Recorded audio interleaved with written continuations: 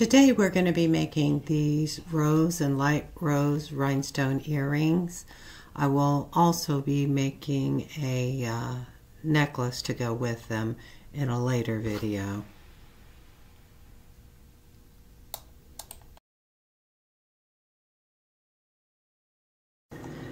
I will be adding a supply list at the end of the video. Uh, right now I am just closing the jump rings so that they'll be ready to go when I start soldering.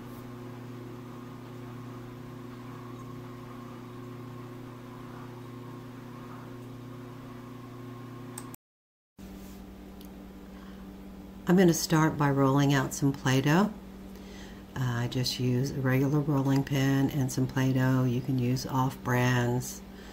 Uh, doesn't really matter. You just want a non-drying dough. You're just going to make sure that it is smooth and even. This will hold your rhinestones in place while you're soldering.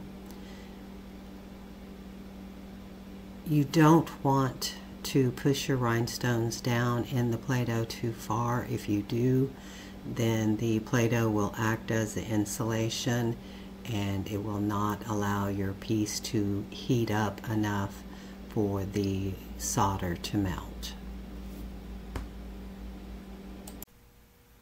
Now that I have my Play-Doh nice and smooth, I'm going to begin setting out my rhinestones. These are all preset stones. The settings are silver plated brass and the stones are set inside of that.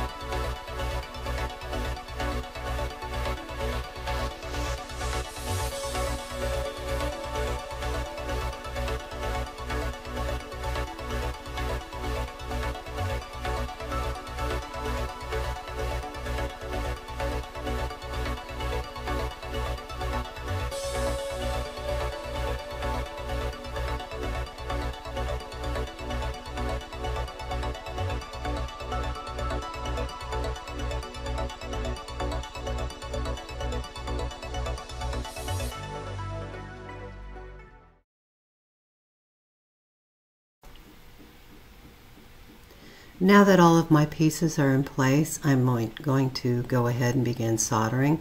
I am using a 300 degree solder that has the rosin core, so you don't need flux with this. I do keep flux on hand because sometimes uh, it will not be fluxed all the way through. Um, really doesn't take a whole lot of solder. You just want to heat up the piece once the piece is heated, it goes pretty quickly. It takes about 30 seconds for it to heat up, and it's kind of like just like drawing a line in between each piece. Uh, you want to uh, touch the solder between every single setting. You want to make sure that everything is soldered together. Uh, and once you're done, you want to go back and check your piece to make sure that you have hit every piece that you need to hit.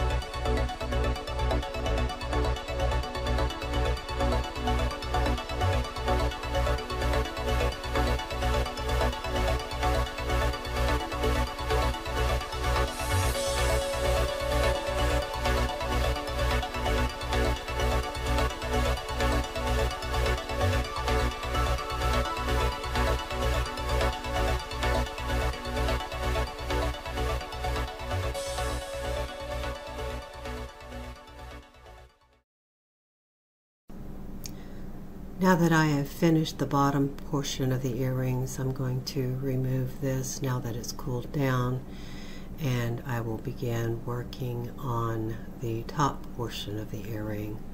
Uh, I'm just going to turn the Play-Doh over and use it. As long as the Play-Doh is still uh, soft, a little bit sticky, then you can reuse the other side. Uh, if it's too dry, then you can't use it.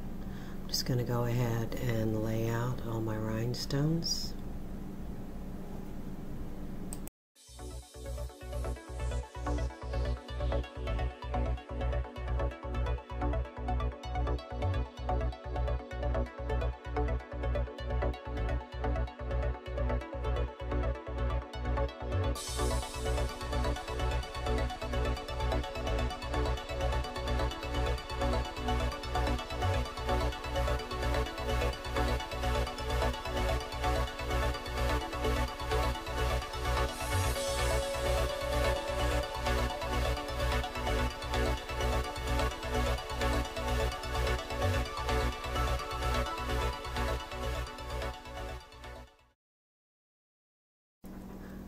I have all my pieces laid out for the top of the earring.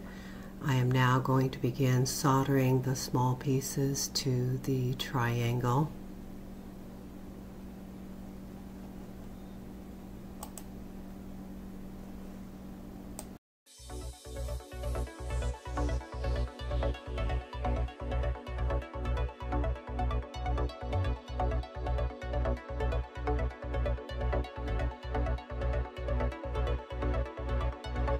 プレゼン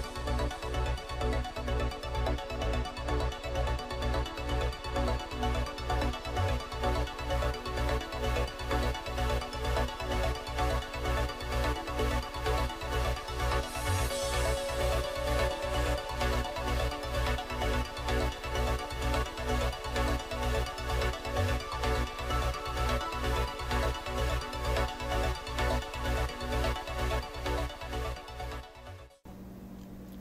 now have all of my pieces soldered to the triangle.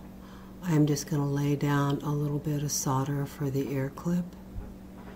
And I am going to take a small piece of Play-Doh and place it where I want the jump ring. And I'm just going to use it to balance the jump ring while I solder.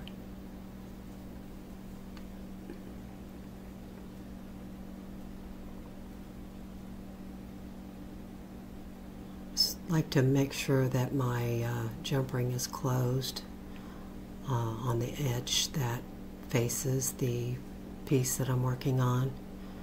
That way it solders it closed. And I like to use the third hand when I'm working with ear clips. It just helps keep it in place. And I generally try and get my uh, third hand uh, with the piece in it flat on the surface that I'm working on and then lift it in place. And just clip it in the jaws and move it over there. And once you've got it in place, you can use your pliers to add a little pressure so that the solder actually heats up and attaches to the back of the ear clip.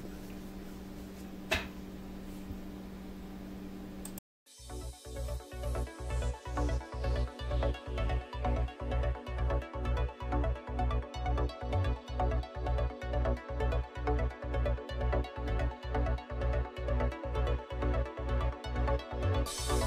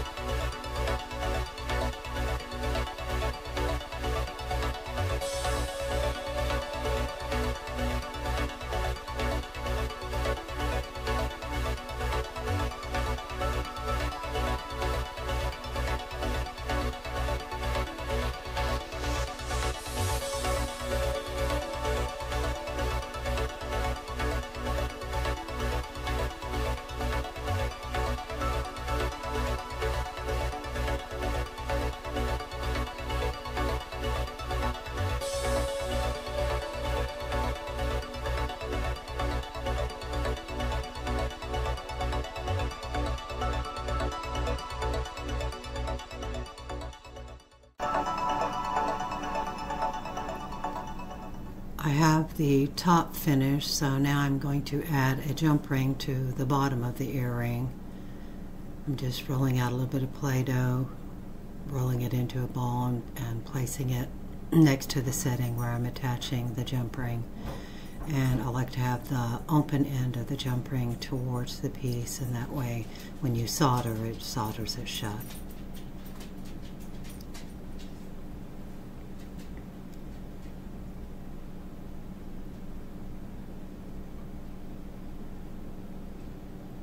Just adjusting a little bit.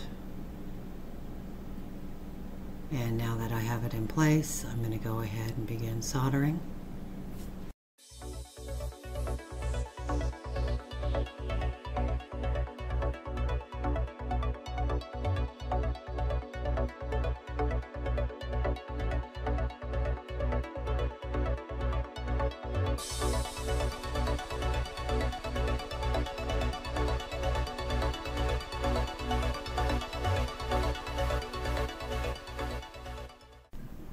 Now that we have both pieces soldered, all we have to do is put them together. I'm going to take a C connector and attach it to the bottom. We're just going to put the jump ring over the little loop and go in with your pliers and close up that loop. And You want to make sure that it is closed all of the way. Sometimes it takes a couple of tries, but if there is even the slightest opening, your jump ring could slide through it, so you want to make sure it's closed all the way. And now we're just going to take the top portion and lay it on the other end of the C connector, the other loop, and you will just close it down like you did the other. And you will be making two of these to complete the set. And that is it for this video. Thanks for watching. We'll see you next time.